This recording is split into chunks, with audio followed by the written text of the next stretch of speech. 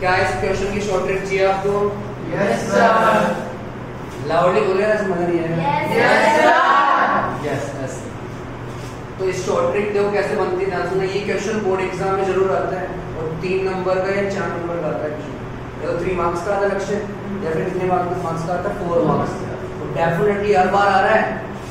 हर बार ये question board exam में आया हुआ है। तो इसका शॉर्ट ट्रिक क्या होगा चेक करने को इसका रेशियो हम डायरेक्ट निकाल सकते हैं यहाँ पे। रेशियो क्या बनेगा इसका? Minus A X one plus B Y one and plus C upon A X two plus B Y two plus C ये इसका आंसर है। सुनना, इस क्वेश्चन में रेशो निकालना हो तो हम directly ratio within second निकाल सकते हैं विद इन सेकंड कैसे निकालेंगे? आप क्या आपको क्या दे रखा है यहाँ पे? ये लाइन ऑफ़ इक्वेशन दे रखी है। तो लाइन ऑफ़ इक्वेशन यहाँ पुट कर दो। तो देखो क्या बनने जा रहा है रेशियो यहाँ पे minus A X one plus B Y one plus C equation of line two X plus Y minus का फोर अपॉन में वापस से क्या आ रहा है लाइन की इक्वेशन आ रही है। Two X plus Y minus का फोर सही है? अब इसमें क्या करेंगे हम? x की वैल्यू देखो, ये x1 y1 क्या शो करता है?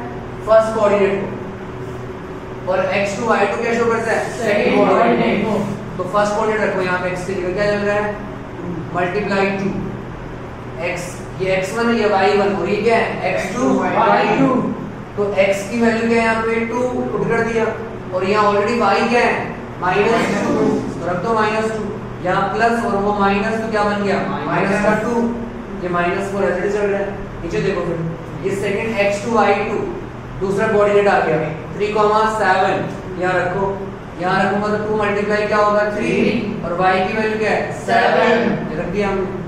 तो वैल्यू क्या बनी? माइनस टू टू जा four minus two minus four upon three two जा प्लस सेवन माइनस फोर ये वैल्यू आ गई माइनस फोर ये देखो फोर से कट गया।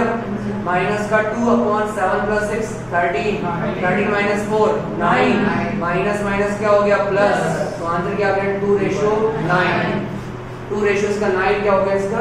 आंसर बताओ। बोर्ड में बोर्ड में नहीं एमसीक्यूज में। इसको एमसीक्यूज में अप्लाई कर सकते हो। सब्जेक्टिव पार्ट बनेगा ना। सब्जेक्टिव पार्ट तो अप्लाई नहीं कर सकते उसको। मान लो उस केस में अप्लाई कर सकते हो जिस केस के अंदर मान लो ऐसे हुआ कि आपके पास टाइम बहुत कम है और क्वेश्चन छूट रहा है आपका तो बिल्कुल ये लगा सकते हो। आंसर वहाँ फुल स्कूल भी बन सकता है जो टोटल मान लो अच्छा टीचर बना। अच्छा होगा समझदार होगा पुलिस स्कूल में पढ़ देगा आपको।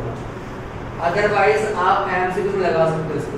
वैसे क्या होता वैसे आप x और y निकालते हाँ। और उस इक्वेशन रखते तब जाके वैल्यू आती यहाँ डायरेक्टली वैल्यू आ गई।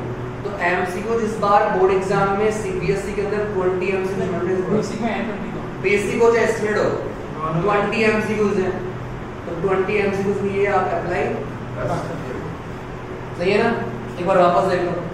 जब भी आपको बोला जाए कि find the ratio find the ratio in the line 2x plus y minus 4 is equal to 0 divide the line segment during the points 2 comma minus 2 and 3 comma 7 उस पॉइंट की रेशियो निकालना हो। किसी पॉइंट का रेशियो निकालना हो कि वो पॉइंट उस लाइन सेगमेंट को किस रेशियो में डिवाइड कर रहा है?